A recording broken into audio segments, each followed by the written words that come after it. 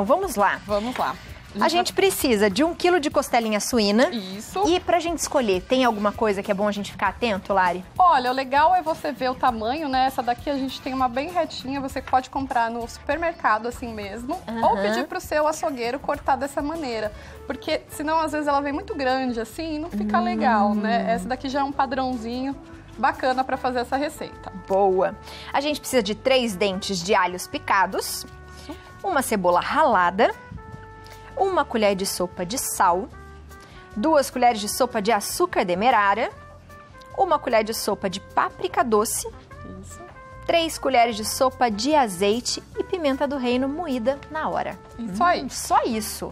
Isso mesmo. Aqui a gente tem uma costelinha que tá linda, né? Você Tá linda vê. mesmo. E tem um truquezinho, Aviane, pra gente poder temperar essa costelinha, Ah. que é tirar essa membrana aqui que vem atrás. Assim a gente consegue que penetre mais sabor e também ela não entorta, sabe? Ela não enruga na hora de assar. Então, com o papel toalha, eu venho aqui e já posso tirar essa pelinha. Ela sai de uma vez. Que legal. Olha só. Tá vendo? Facinho. Facinho. Inteirinho. Que Prático, né? legal. Eu amei essa dica. Porque geralmente quando a gente realmente faz em casa no forno, ela fica assim, ó, atrás, né? Esticadinha, É, assim, ela ó. fica meio tortinha e assim a gente consegue tanto que o tempero entre melhor nessa carne, né? Quanto ela fique mais retinha também, mais apresentável. Gostei, a chefe já arrasou. Vamos lá. E agora aqui eu vou, tem- vou misturar os temperos, então eu misturo o alho, misturo também a cebola. A gente pode misturar tudo junto, não tem problema, nem ordem, tá? Tá. Colocar o sal aqui. E você vê que eu coloco o açúcar também. Uhum. Então eu gosto muito desse agridoce com carne de porco. Ah. Pode ser na picanha suína, pode ser é, em diversos cortes de porco, que vai muito bem. E por que esse açúcar? A gente pode usar o nosso açúcar também normal? Pode não? sim. É que esse daqui ele vai dar mais coloração e ele derrete mais devagar. Então é o tempo do assado aqui. Tá. Aqui eu tô usando páprica doce, mas você pode usar páprica picante também, se você preferir gostar de mais apimentada a sua receita. Tá. E aí a pimenta do reino, sempre para dar um saborzinho. E o azeite a gente coloca na costelinha. Só vou misturar aqui. Esse rub que a gente chama, né? Que é o rub é de esfregar, então a gente esfrega esse tempero na costelinha para ela ficar bem saborosa. Posso deixar aqui de lado. E tem uma outra dica pra gente não ficar sujando tudo, que é já temperar Ah. na assadeira. Então eu tenho a assadeira aqui. E aí eu vou fazer uma caminha Com papel com esse papel alumínio. Pode contar aqui umas três, quatro voltas.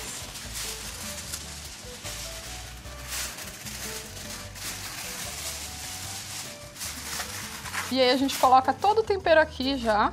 Faz uma caminha do tempero. Amassar aqui um pouquinho. Faz a caminha com o tempero. Para ir tanto por cima quanto por baixo dessa por costelinha e ficar super saborosa. Então essa costelinha a gente leva pro forno, primeiro fechada, Ah. depois a gente abre para pegar, é, para dar aquela coloração, aquela dourada, e depois a gente finaliza com barbecue, para trazer o sabor do defumado, né? Então, ó, dá uma olhada se a sua costelinha, bonito. viu? A Como tá certinho. linda. E aí a gente coloca mais temperinho aqui, Cheiro bom fica o tempero, hein? muito bom, né? Uhum. Pode dar aquela esfregadinha. Cebola, alho, né? Fica muito gostoso. Muito e esses gostoso. temperos todo mundo tem em casa, né, Abi? Tranquilo de achar no mercado também a páprica, não é nada muito assim que as pessoas não encontram. E aí a gente fecha assim, ó. Agora eu fecho pra cá. Pra cá. E depois as pontas. E é exatamente dessa maneira, porque depois a gente vai precisar abrir pra ela dourar. E aí fica mais dá- fácil, né? Exatamente. E essa daqui a gente leva lá pro forno. Quanto forno? O forno tá a 180 graus. É. Deixa eu só tirar aqui que, que a gente já tem uma etapa, né? E aí a gente deixa 180 graus por uma hora. Uma hora, tá. Ó, ela vai ficar desse jeito aqui, Pra gente abrir de novo, pra né? gente poder abrir e deixar dourando. Olha só. Ah, legal. Então ela pegou todo o sabor, Bom pra gente ver o ponto dela, tá vendo? E aí a gente volta pro forno para dourar. pra dourar. Isso, vai dar aquela caramelizada, vai trazer um sabor a mais aí, e aí a gente finaliza com um barbecue. Com- Por quanto tempo, mais ou menos, no forno, Lari? Olha, uma meia hora, depende muito do forno, né? Eu Pouco prefiro tempo. deixar assim é, o fogo mais alto para dar aquela caramelizada bem e a gente conseguir trazer bastante sabor. Então, peraí. Depende muito do seu forno, né? Então, fica de olho. Essa é a parte que você fica de olho. Esse macarrão com queijo é sucesso, viu? Eu já tô de olho nele antes de você começar a fazer, porque queijo não tem como ficar ruim, não né? tem, esse queijo é gostoso. Se o pessoal também não achar o cheddar, pode usar qualquer queijo que tiver à disposição, mussarela, parmesão, vai ficar bom de qualquer jeito. Então vamos lá, Lari. 500 gramas de macarrão caracolino, né? Isso, ele é um macarrão, ó, enroladinho e ele suga o molho. Mas se você não encontrar, às vezes é difícil, inclusive eu tive dificuldade, eu fui em três mercados para poder achar. Pra poder achar. É, se você não encontrar, pode colocar o pene. Legal. Ou aquele enroladinho também parafuso, que ele também pega bastante molho. Boa, boa dica. Uma cebola picada, 3 colheres de sopa de manteiga, manteiga sem sal ou com sal, tanto faz? Pode ser sem sal, que a gente ajusta o sal depois no fim. Já Tá. vou colocando aqui. Perfeito. 500 gramas de queijo cheddar, 200 gramas de queijo parmesão ralado, uma lata de creme de leite, isso? Não, aqui a gente tem um quilo. Na Um verdade, quilo são mesmo. cinco caixinhas. Cinco É, caixinhas. isso. Então, cinco caixinhas de creme de leite, 200 ml de leite e sal e pimenta a gosto. Isso aí. Agora a gente vai refogar a cebola, Tá. deixar ela bem é, transparente, assim, quase caramelizando. E aí a gente entra com, com os outros ingredientes. O, o negócio aqui é a gente conseguir derreter esse cheddar, derreter o queijo que a gente está usando, Aham. para formar essa base do molho. E ele tem que estar um pouco mais fluido para poder incorporar junto com esse macarrão. Então a gente deixa ele mais líquido, o macarrão um pouquinho mais durinho, uns 5 minutinhos só fervendo, para ele terminar no forno, que ele ainda vai gratinar, vai ficar daquele jeito Ai, ali. que delícia, Delicioso. gente do céu. E o macarrão você arrasou, né? Eu também acho que ela tá arrasando. Esse macarrão você cozinhou ele já com salzinho ou não precisa? Coloquei um pouquinho de sal. É sempre Tá. bom em todas as etapas que a gente estiver cozinhando colocar o sal, para Tá. não ficar faltando depois no fim, né? Então todos os ingredientes coloca sal sempre. Não tem problema não. Agora a gente vai entrar aqui com o creme de leite, já deu uma refogada. Pode colocar e já pode colocar também o cheddar para ele ir derretendo. Então, como eu falei, pode ser a mussarela, pode ser o emmental, pode ser o que tiver mais fácil aí. É que ele tem essa coloração e deixa mais Fica amarelinho. bonito, né? Fica bem amarelinho. Isso, o gosto dele também. Maravicherry, gente. O gosto também fica, fica diferente. Esse cheddar é bem legal, né? E a criançada adora. Acho que a criançada daqui também, viu, Lari? Também, né?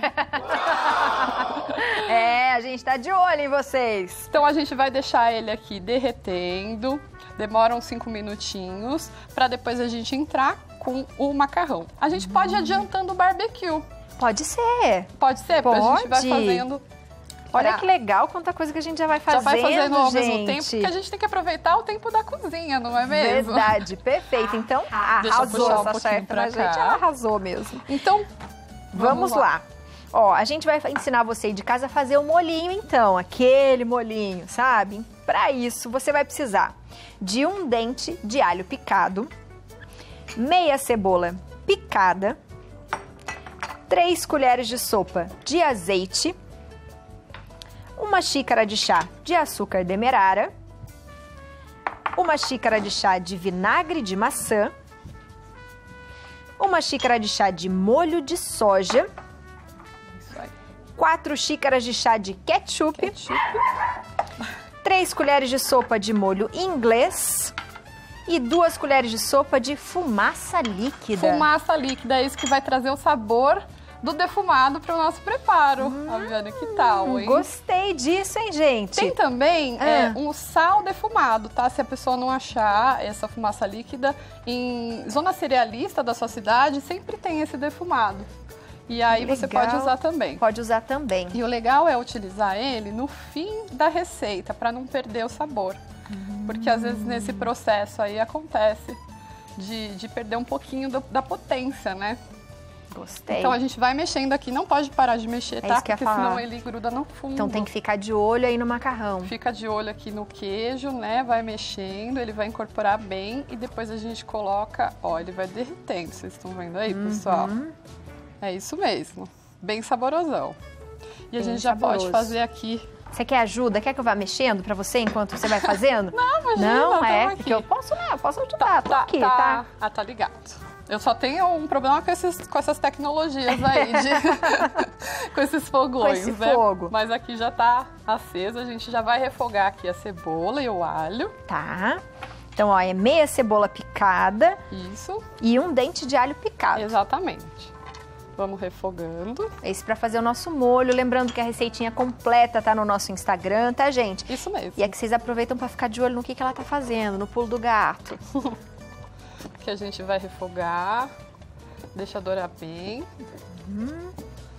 E aí que vai trazer o sabor também. E o legal do molho barbecue caseiro é que É. você consegue adicionar outros sabores, Abiane. Se você quiser colocar manjerica, manjericão, pode colocar é, maracujá, Ai, que legal. pode ter algumas essências, é, goiabada, por exemplo, que eu vejo bastante, né? Um barbecue de goiabada. Nossa, é, acho que- suco de que maçã. legal, goiabada. Ameixa até, as frutas das estações, né? Que legal. Abacaxi, vai- Gostei. pode incrementar o seu barbecue que vai ficar gostoso do mesmo jeito. Porque a carne de porco, ela vai muito bem com uma frutinha, né? Com mais cítrico, assim, com essa pegada. Hum, cheiro tá bom, cheiro tá bom. Tá gostoso, né? Ó, Nossa. o queijo já derreteu, Biane, vou colocar aqui o leite pra dar uma fluida nesse, desse molho, né? E a gente já acrescenta aqui O macarrão. o macarrão.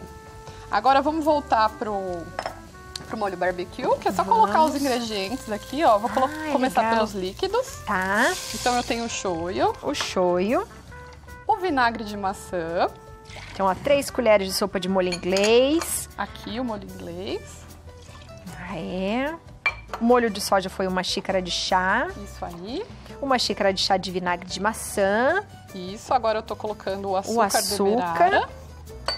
Uma, uma xícara de chá de açúcar demerara. Isso, e quatro xícaras de ketchup. De ketchup. É bastante mesmo, porque ele é a base do nosso barbecue. E aqui é só mexer de pouco em pouco, deixa em É. fogo médio, não precisa ficar o tempo todo aqui, tá? Ah, legal. Daqui meia horinha ele fica pronto e aí ele fica nessa consistência aqui, ó. Esse barbecue Olha. gostoso. Bom, Ele não fica um vermelhão, né? Não, ele fica pro escuro mesmo. Pro escuro. É. Hum, Ó, o o, queijo, o macarrão aqui já tá pronto. A gente coloca. Ai, que delícia de macarrão. Só assim ele já tá bonitão, Lari. Muito lindo, né? Aham. E aí a gente coloca também o queijo parmesão pra levar pra gratinar. Tudo de bom, hein? Tudo de bom. Queijo com mais queijo não Ai, tem, queijo com mais queijo não tem erro. tem erro, né? Hum, que delícia.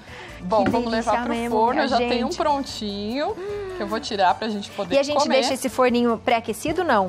Ah, é bom, né? Porque se você tiver a parte do grill também, melhor ainda, tá? Hum. Porque aí ele vai dar aquela douradinha que a gente procura. Tá bem douradinho aqui. Ai, que delícia, minha gente, que delícia. Olha só que lindo. Uh, Lindo uau. demais, né? Lindo demais. Uhul, ela arrasou, minha gente. E aqui a costelinha que a gente vai colocar. Ah, eu quero saber.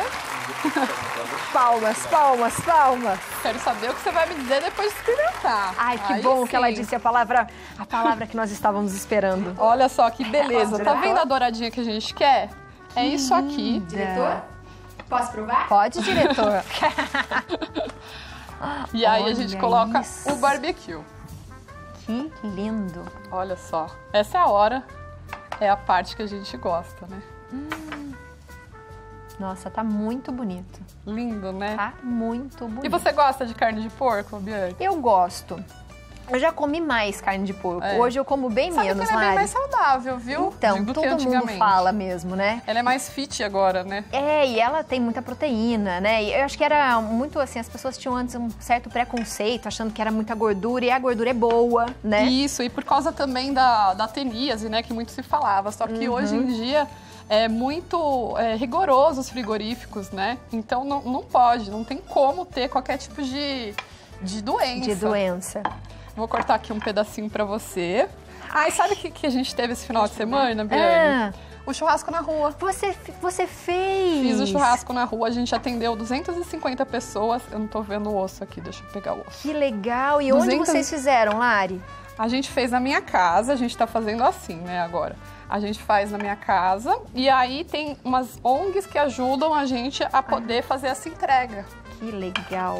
Quer mais um pouquinho de barbecue? Acho que tá faltando ali. Pode colocar, pode colocar no prato que eu só tô de olho. Pode, Deixa, pode. vai. Ela Ó. já deixou, diretor. E aí eu vou diretor colocar também. aqui o seu macarrão. Olha que Que é lindo. esse. Nossa, Deixa eu tirar a tá luva lindo. que fez uma melequinha? Esse é o meu melhor lado. Não é, gente? Olha isso, você de casa olhando esse prato delícia. Vou te servir. Eu até vou Olha. pro cantinho ali, que o povo já fica esperto ali no cantinho. Essa hora aqui que é a hora.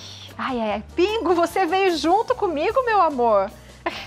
você veio junto, é? Ai, ai, Bom ai. Que apetite. prato lindo, Brasil. Arrasou. Obrigada. E aí a gente atendeu 250 pessoas. A gente fez uma polenta com ragu defumado, com carne moída, linguiça. Ficou bem saboroso, ficou Ai, muito que gostoso. lindo, Lari. E o melhor, o pessoal mandando foto depois, né? da- do- Comendo. Pois é, mandando parabéns, assim. Ah, isso é demais, gente. Isso é é um trabalho lindo, lindo mesmo. Que Deus bem gostoso. abençoe E a vocês gente sempre. faz todo mês, né? Então, quem puder ajudar, entre Por em contato favor. No Larica na Brasa, manda mensagem, é, manda um direct pra gente receber doações, porque sempre tá precisando, né? Então, ó, repete aí de novo a rede social. Arroba Larica na Brasa. Larica na brasa. Isso Ai, aí. eu vou, gente. E a gente. e tudo foi doação, viu? Ah, é? O pessoal doou dinheiro, doou também é, alimentos e a gente conseguiu fazer essa ação Hum. linda. Que delícia.